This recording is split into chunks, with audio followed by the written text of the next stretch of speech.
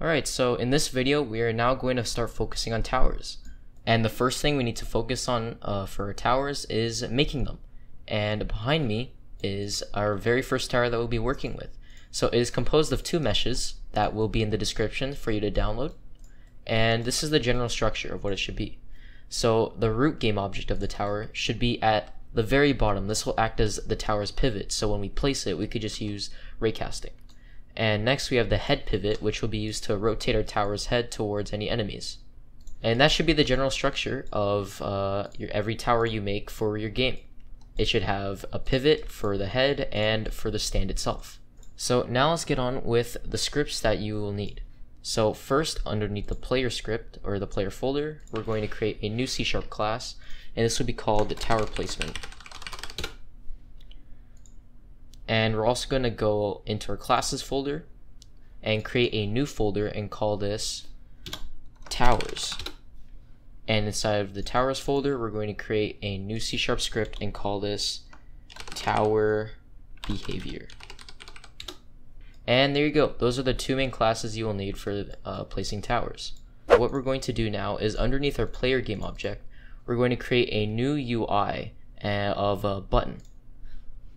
So if we just double click on the button to focus on it, zoom out a bit, and we can call this, uh, for now this will be our test place, since this is really just to help us develop this code. And just set it to a size of 100 by 100.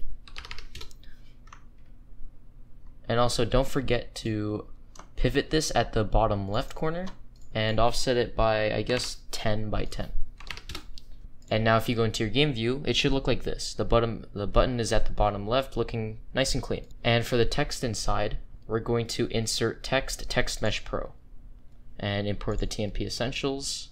And once that is all done, you're going to go to the rect transform and shift alt, press at the bottom right to have it stretch on all corners. There you go. Set the font size to around 20. Uh, have the alignment go towards the center. Set, set the font color to black. And I'll just set the text to place tower. There you go. And now the UI is all set. Now what we're going to do is back on our player object, we're going to take our tower placement class and put it on to our um, player game object.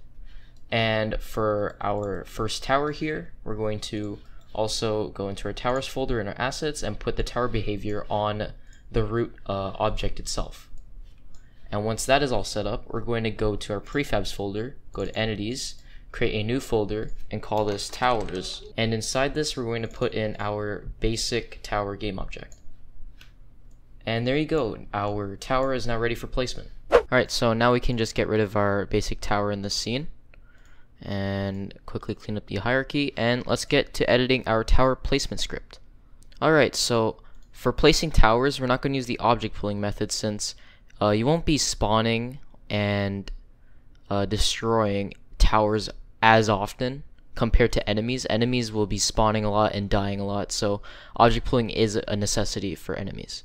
But for towers, I prefer not to use object pooling since uh, whenever I use object pooling, uh, I like to go off of ID, an IDing system, and uh, it can get really messy uh, when it comes to IDing towers. Uh, you know, you have their upgrades, you know, you have a lot of things to worry about. So we're just going to stick with uh, prefabs and instantiation and destroying of towers for the tower placement.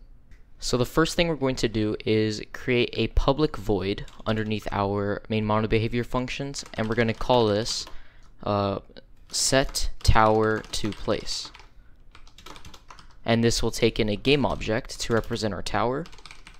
And after that, we're going to create a private game object variable to store our current placing tower. So we can set that current placing tower. And within our set to tower to place function, we're going to set our current placing tower to instantiate uh, the tower object, and we're going to set the position to vector3.0 and we're going to set the, uh, the rotation to its identity. Now, once this function is called and we have our current placing tower, in our update function, we're going to check if our current placing tower uh, does not equal to null, so we can prevent errors from happening. And inside of here, we're going to modify the position of our current placing tower based off of uh, array that is shot from our camera to our mouse um, in screen space to world space so we can uh, screen space and now what we're going to do is modify the position based off of a ray that our camera is shooting uh, based off of our uh, mouse position uh, into world space uh, so we can place objects around the world. So to get this ray, what we have to do is ray, call this cam ray equals, and before we continue with that, we're going to need a reference to our player's camera. So below our current placing tower variable, we're going to create a so above our current placing tower variable, we're going to create a serialized field attribute that is connected to a private camera reference and call this player camera. And what we're going to do with this reference is next to our array after the equal sign, we're going to do player camera dot screen point to array. And inside of here, we're going to pass in our input dot mouse position. And now with this ray, we're going to do if physics raycast, and we pass in our cam ray. After this, we do out raycast hit and call this our hit info. And for the layer mask, we're not going to put a layer mask. And we're going to put in a range. So we can set our max distance to, I guess, 100 units. And after that, we can just finish up our if statement. And there you go.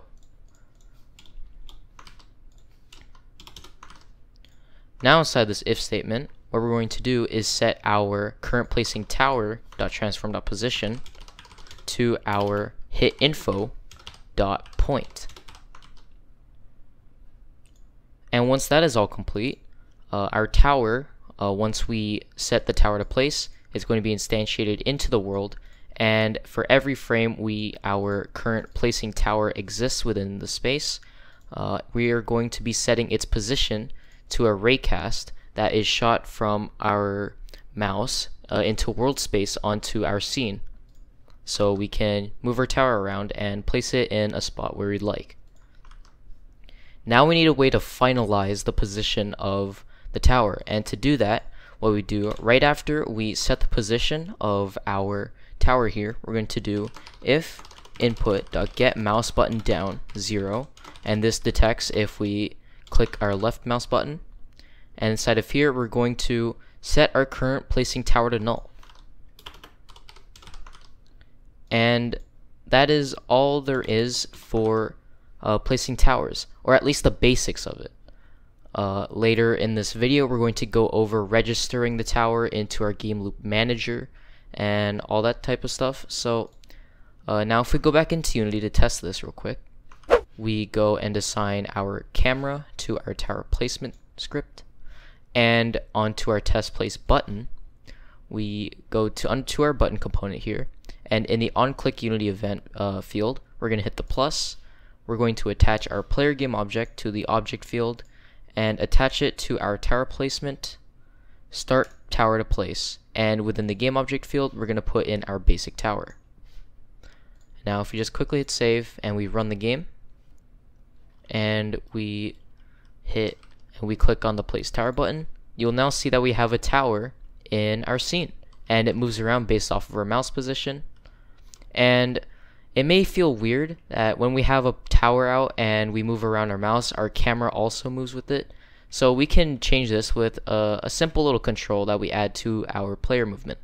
So on our player game object and on our player movement script, if we go to our move player camera, all you have to do is put all this code here inside of an if statement checking if we are pressing the right mouse button. Get mouse button 1. And what this will do is it will only move our camera with based off of our input if our right mouse button is down. So now if we go back into Unity and we hit play, you can now see we have to hold down our right mouse button in order to move our camera. And this makes placing towers much, much easier. We can place towers, that's all cool. but we're able to place towers inside of each other and we're going to fix this. So now what we're going to do is we're going to take our basic tower prefab and on the root game object we're going to add a box collider.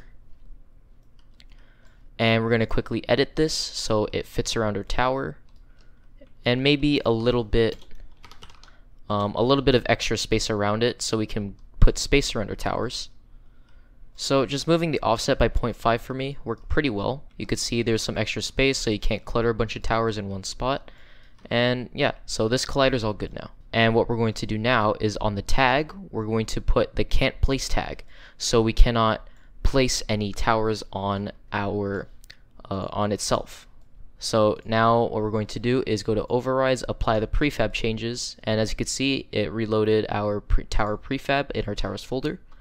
So now we can delete our basic tower instance in our scene. And now we're going to go back into our tower placement script so we can apply the effect of where we cannot place on any object that has the can't place tag on it. So in order to do this, what we're going to do is we're going to create a raycast hit variable uh, within our uh, current placing tower if statement here. So it's going to be completely separate. So raycast hit and call this uh, hit info. And what we're going to do is instead of having the variable or instead of having our raycast function in here uh, creating its own variable, we're just going to simply pass this in. And there you go. And now since structs cannot be null, a way we can check if we actually have a hit, a hit object is in our if input.get get mouse button down, if we do and and we put hit info dot collider dot game object does not equal to null. So this is a good way to check if we actually have a hit info. What we're going to do is create another if statement in our uh, if statement, and this will contain uh, a comparison for the tag. So hit info.collider.gameObject.compare tag, and we look for the can't place tag. And we put our current placing tower equals null inside of this if statement.